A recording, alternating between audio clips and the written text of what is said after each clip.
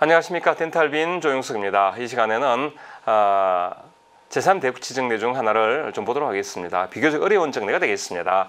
43세 중년의 남자 환자이고 오른쪽 제3대구치가 매복이 되어 있습니다. 지금 오른쪽 제2대구치 엔도 치료가 끝나고 크라운 수복을 해야 되는데 저 제3대구치를 아, 제거를 해야 아, 크라운을 만들 수 있는 상황이 되겠습니다. 그래서 어렵지만은 발치를 어, 부탁을 해왔습니다. 자, CT 한번 찍어봤습니다. CT를 찍어봤는데 어, 치아가 캐날과 근접한 상황입니다. 근접을 했는데 어, 뭐 근접을 했지만은 그래도 발치를 하는데 큰 발치한 자체에 큰 문제는 없습니다. 하지만 이 환자는 사실 굉장히 어려운, 어려운 환자가 되겠습니다. 수평 매복에 클래스가 2이고 특히 포지션이 C가 되겠습니다. 거의 서비컬 쪽에 박혀 있습니다. 굉장히 만만하지가 않습니다.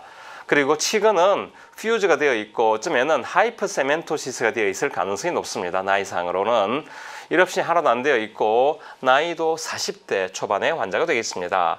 자, 이런 이런 환자들은 사실은 저 치아를 발치한다는 게 쉽지가 않습니다. 생각보다 어렵고 어, 치, 치근도 canal에 근접하게 있기 때문에 치근이 부러졌을 때 저걸 발치하려고 애를 쓰다가 신경을 손상시키는 경우도 있습니다.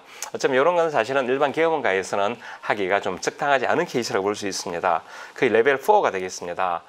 아, 일단은 제 생각으로는 어, flap을 열고 XCR 섹셔닝과 coronal sectioning, 필요하면은 sagittal sectioning까지 모든 종류의 sectioning을 하고 어, 들어가야 될 상황으로 생각을 합니다. 어, 그래도 안 될 수 있습니다. 이런 경우에 그래도 만약에 뽑기 용이, 용이하지 않다 그러면은 coronectomy로 전환을 시키는 것도 나쁘지 않습니다. 그래서 모든 가능성을 다 염두에 두고 환자에게도 충분히 설명을 하고 이런 경우에는 어, 수술에 들어갑니다. 자, flap을 envelope flap으로 열었고요. 어, 일단 노출을 시켰습니다. 노출을 시켰고 역시 매복의 깊이가 깊습니다.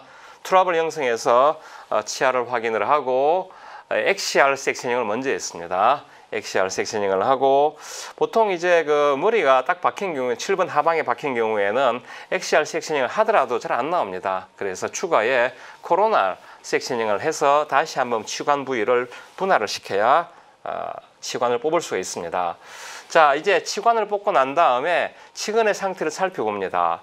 어, mobility가 있는지 뽑기가 용이한지를 살펴보고 만약에 이게 만만하지 않겠다 그러면은 재빨리 포기하는 게 좋습니다. 지금도 좀 확인을 해보고 난 다음에 재빨리 포기를 했습니다. 이거 하지 않는 게 더 유리할 걸로 생각이 되어서 코로넥토미로 바로 전환을 시켰습니다.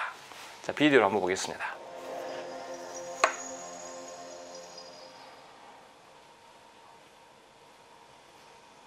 (12번) 블레이드를 이용해서 정확하게 엠빌로 플랩을 형성합니다.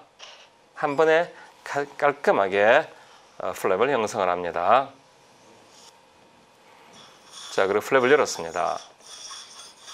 pericoronitis 관찰이 됩니다. 치관 주변으로 염증 소견을 보이고 있습니다. 자, flap을 열어서 bone을 노출을 시키고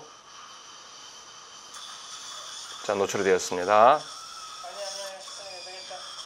자, 이 trough를 형성하겠습니다. 협측과 어, 후방 쪽에 어, bone을 삭제를 하고 bone과 어, 치아 사이에 trough를 형성하고 있습니다. 자, high speed round bur를 이용해서 axial sectioning 들어갔습니다. XR 섹션형은 항상 만만하지 않습니다. 정확한 어, 방향, 깊이를 정해서 어, 섹셔닝이 들어가야 합니다. XR 섹셔닝을 어, 어설프게 했다가 치아를 파절시키면 정말 어려운 상황이 생깁니다. 그래서 여러분이 얼마나 삭제에 대한 감을 가져야 되고 그런 감이 없을 때에는 마킹을 해서라도 XR 섹션의 깊이를 잘 정해야 합니다.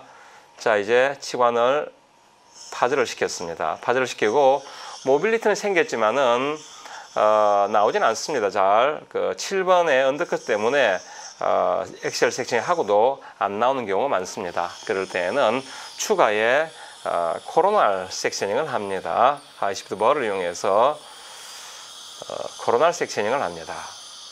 치관을 분할시키기 위한 방향이 되겠습니다. 이렇게 어려운 경우에는 straight elevator만으로는 부족하고 저렇게 밀러, curved elevator를 좀 사용을 합니다. 자, 협측 crown이 일단 어, 나오고 있고요. 분할된 크라운 중 일부가 나왔고 이번 설측을 제거하겠습니다. 밀러를 이용해서 설측 크라운 역시 어, 제거되었습니다.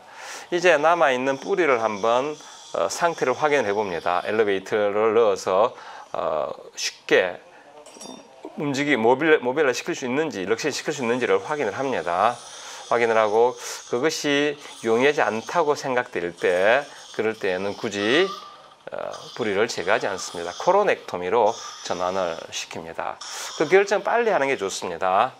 한참 헤매다가 전환시키는 게 좋지 않습니다. 지금 굉장히 빨리 결정을 했고 곧바로 어, 그냥 coronectomy를 하기로 하고 치근은 건드리지 않았습니다. 그냥 그리고 flap을 approximation 시켰습니다.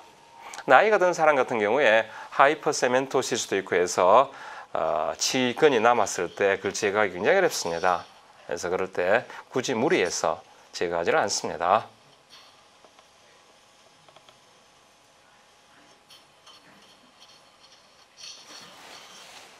자, 그렇게 해서 수술을 마무리했습니다.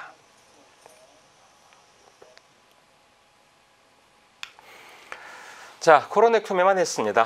어, 지금 보면 XR 섹셔닝과 어, 코로날 섹셔닝으로 치관이 예쁘게 잘 나온 것을 볼 수가 있습니다. 코로넥토미만 했기 때문에 전체적인 수술 시간도 약 4분 정도에서 마무리할 수가 있었습니다. 자, 이 사진은 코로넥토미 끝나고 난 다음에 어, 찍은 파노라마 사진이 되겠습니다. 어, 치관부가 깨끗하게 잘 제거되었고 어, 치근의 일부만 남아 있습니다. 이렇게 나이가 많은 사람들 같은 경우에는 어, 남아 있는 치근이 대개 이동하지 않고 그 자리에서 그냥 있는 경우가 많습니다. 젊은 사람 같으면 약간 이동을 하죠.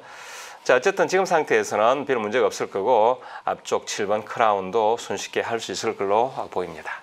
자 시청해 주셔서 감사합니다.